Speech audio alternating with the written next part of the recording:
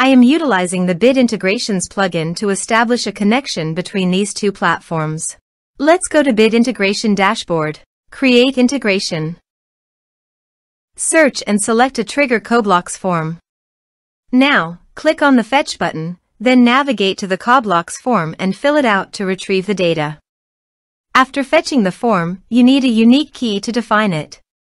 However, the CoBlocks form doesn't provide the unique key. That's why I added a hidden field and gave its value as a unique key. Now fill out the form.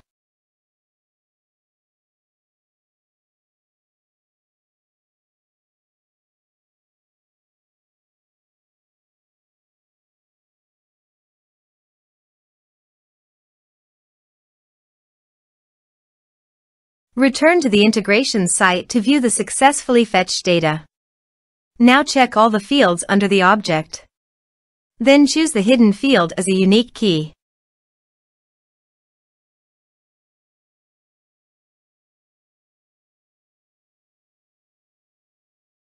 Set action. Now here search and select Copper CRM. Give a name.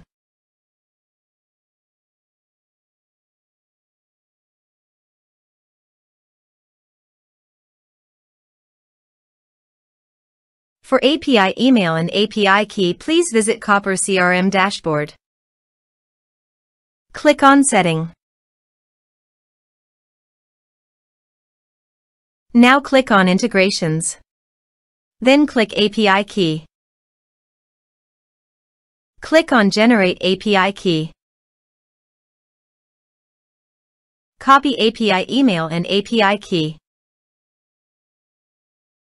Paste it in authorization page.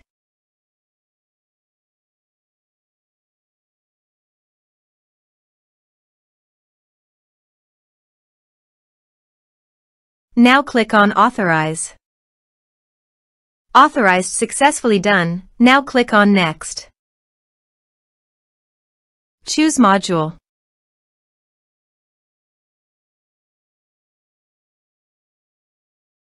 Now map the fields.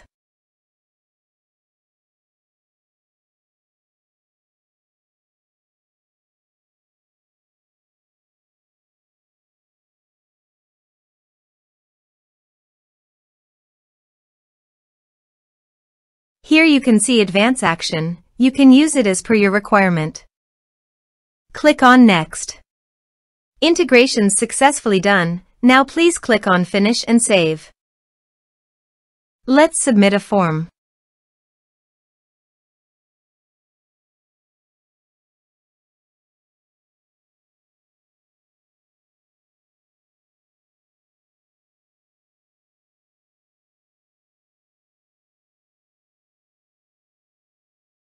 Submit it.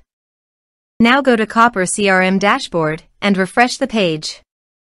You can see record created in People module. This way you can create integrations. Thanks for watching.